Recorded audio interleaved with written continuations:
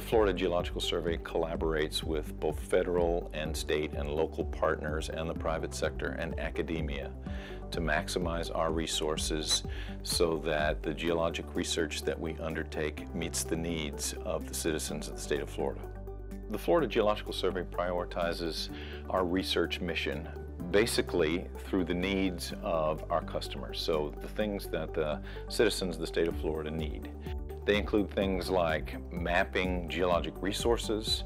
So Florida is a top 10 mineral producing state and it is our job to go out and make sure that we know where all those mineral resources exist. We also do a lot of geohazard research. So Florida is well known for its karst environment and in, when you live in a karst environment you oftentimes deal with things like sinkholes and groundwater vulnerability to contamination. We also live in a state that doesn't have a lot of topography. In fact, we've got the lowest high point of any of the 50 states. Because we have such low topography and we have a huge long coastline, you can imagine that there are all kinds of hazards related to sea level rise and the impacts of storms on our coastline. So we try to do a lot of research geared towards helping to mitigate the potential impacts of geohazards like storms and sinkholes. We are currently at Wakulla Springs inside Wakulla Springs State Park. One of the reasons why this spring is special is because its vent actually enters um, one of the longest mapped cave systems in, in the world and the longest mapped cave system in the United States.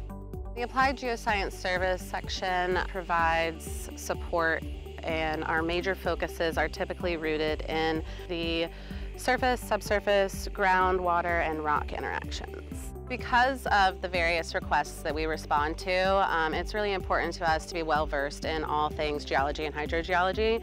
So we are continuously trying to improve and hone our skill sets. We actually go as far as to cross-train some of our staff so that we can actually operate autonomously and not only in silo ourselves into water-related projects.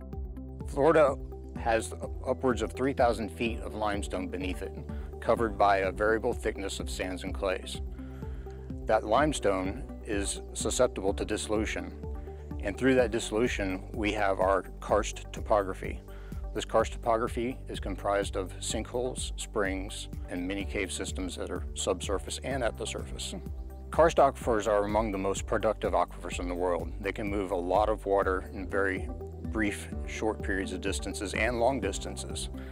And because they move so much water, they're often difficult to manage and also very susceptible to contamination. Conducting our work through the Florida Geologic Survey helps us understand our karst environment. Doing our superficial geologic mapping helps us identify these sensitive karst features and these features which may be geohazards. Investing in that geologic mapping is highly important for the future of Florida. It will help us better understand where people can live, when, where they can live safely, and how we can make our vulnerable water resources last for our lifetimes. I grew up loving the springs and rivers of Florida. As a geoscientist, I now understand how fragile these systems are and how easily uh, they can be contaminated. So outreach is an opportunity to share both the beauty of these systems and also the importance of preserving our natural resources. Our museum is specimen rich and space limited, so we had to be very deliberate in our design. Our main message is that geology is inspiring, understandable, and essential to our daily lives. We wanted to share with everyone that comes in the beauty of our springs and our caves, our sinkholes. We wanted to share our spectacular calcite formations. And we also wanted them to understand what geoscience is and why we do geoscience. We love geology and we think it's spectacular.